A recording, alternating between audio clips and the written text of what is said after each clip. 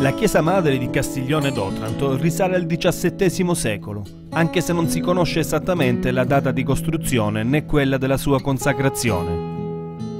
La matrice chiesa fu costruita e dedicata a San Michele Arcangelo, principe degli angeli e uno dei santi più venerati nel Salento bizantino.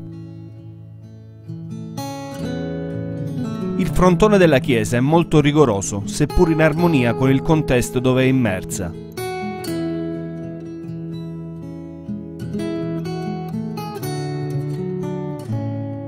La chiesa è ad unica navata centrale, in sobrio stile barocco. Una volta all'interno si può subito ammirare il pregevole pavimento musivo a rombi bianchi e rosa. Esso fu realizzato nel 1871 e si sviluppa dall'entrata fino alla sagrestia. L'altare principale è in pietra leccese, arricchito da pregiate decorazioni e da un crocefisso.